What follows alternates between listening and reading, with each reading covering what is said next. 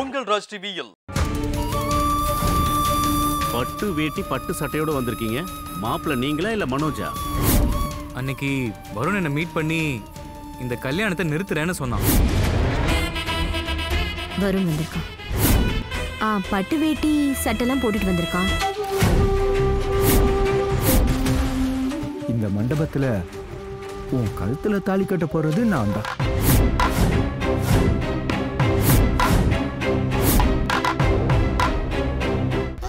இன்று இரவு எட்டு ஒன்றுக்கு ஆனந்தி காண தவறாதீர்கள். உங்கள் ராஜ் டிவியில்